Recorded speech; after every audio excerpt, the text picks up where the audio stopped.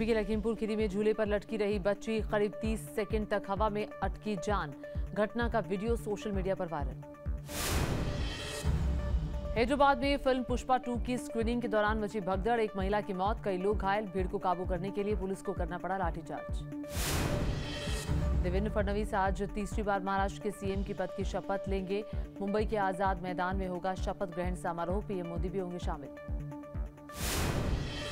Deputy CM पद के लिए एकनाथ शिंदे भी राज़ी। एनसीपी नेता अजीत पवार के साथ लेंगे डेप्यूटी सीएम पद की शपथ। महाराष्ट्र में शपथ ग्रहण के दौरान दिखेगा महायुति का शक्ति प्रदर्शन। पीएम और अमित शाह के साथ एनडीए शासित राज्यों के मुख्यमंत्री और उप मुख्यमंत्री भी रहेंगे मौजूद। मुंबई के आज़ाद मैदान में शपथ ग्रहण की भव्य तैयारी। पाँच एडिशनल कमिश्नर और 700 अफसर समेत 3000 से ज़्यादा पुलिसकर्मी रहेंगे तैनात। 8000 से ज़्यादा सीसीटीवी कैमरों से निगरानी। महाराष्ट्र में शपथ ग्रहण से पहले दिल्ली में केंद्रीय मंत्री सी आर पाटिल के घर डिनर पार्टी का आयोजन। पीएम और अमित शाह के अलावा कई केंद्रीय मंत्री भी रहे मौजूद। संसद में कुछ महिला सांसदों ने प्रियंका गांधी का जय श्री राम कहकर किया अभिवादन। जवाब में प्रियंका बोली, जय हिंद और जय सिया राम झारखंड में आज हेमंत सोरेन सरकार का होगा कैबिनेट विस्तार। सूत्रों के अनुसार जेएमएम से छह, कांग्रेस से चार और आरजेडी से एक विधायक बनाए जा सकते हैं मंत्री। असम में गोमांस पूरी तरह से बैन, सीएम हेमंत बिस्वा शर्मा का ऐलान। सार्वजनिक समारोहों में भी नहीं परोसा जाएगा बीफ। समल हिंसा पर सीएम योगी सख्त अधिकारियों को दिए निर्देश, नहीं बचना चाहिए, हिंसा में शामिल एक भी उपद्रवी। समल के सांसद जियाउर रहमान बर्ग की बढ़ सकती है मुश्किलें। एक्सीडेंट मामले की पुलिस ने शुरू की जाँच।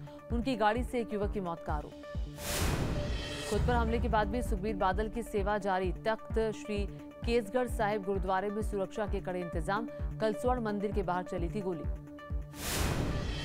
सुखबीर बादल पर हमले से एक दिन पहले का वीडियो आया सामने। आरोपी नारायण सिंह चौरा से हाथ मिलाते दिखे एसपी हरपाल। सुखबीर सिंह बादल की सुरक्षा में तैनात हैं एसपी हरपाल। जस्टिस मनमोहन ने सुप्रीम कोर्ट के जज के तौर पर ली शपथ, दिल्ली हाई कोर्ट में सबसे लंबे समय तक सेवा देने का बनाया रिकॉर्ड। मुंबई में सलमान खान की शूटिंग साइट पर पहुँचा संदिग्ध शख्स, अंदर जाने से रोकने पर दी लॉरेंस बिश्नोई की धमकी, आरोपी को हिरासत में लेकर पूछताछ कर रही है पुलिस। कश्मीरी पंडितों के जख्मों पर मरहम लगाने के लिए जम्मू कश्मीर सरकार ने की बड़ी पहल, नब्बे के दशक में तबाह हुए मंदिरों और धार्मिक स्थलों का होगा पुनर्निर्माण और जीर्णोद्वार वाराणसी के यूपी कॉलेज परिसर में मजार पर विवाद के बीच वक्फ की नई चिट्ठी। वक्फ बोर्ड ने माना ज़मीन उसकी नहीं, प्रिंसिपल बोले, जब नोटिस से निरस्त कर दिया गया है तो पूरा मामला खत्म।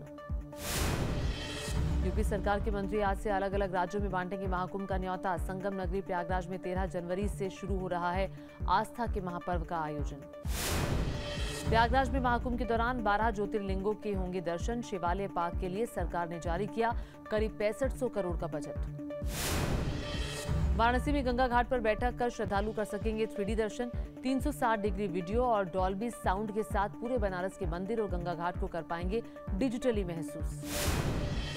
महाकाल मंदिर में अब वेंडिंग मशीन के ज़रिए भक्तों को मिल रहा है प्रसाद। जेपी नड्डा ने किया हाईटेक सुविधा का शुभारंभ। मध्य प्रदेश के सीएम मोहन यादव भी रहे मौजूद।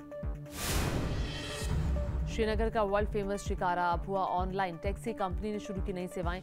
मोबाइल ऐप की मदद से शिकारा की सैर हो सकेगी बुक। मध्य प्रदेश के पन्ना में हीरो की नीलामी, आकर्षण का केंद्र रहा उन्नीस दशमलव दो दो कैरेट का हीरा। महाराष्ट्र और मध्य प्रदेश के कई जिलों में हीरा खरीदने पहुँचे व्यापारी। यूपी के मुरादाबाद में सड़क किनारे पड़े खराब अंडों के लिए भी टूट पड़े लोग। व्यापारी ने खराब होने के बाद अंडों को सड़क किनारे फेंका था। बांग्लादेश में हिंदुओं के खिलाफ हिंसा को लेकर मध्य प्रदेश के नलखेड़ा में प्रदर्शन। दूल्हा भी हुआ शामिल। शादी के बंधन में बंधे नागा चैतन्य, शोभिता, धुलीपाला। पहली तस्वीर आई सामने, हैदराबाद के अन्नपूर्णा स्टूडियो में तेलुगु रीति रिवाजों से हुई शादी। न्यूज़ नेशन अब व्हाट्सएप पर।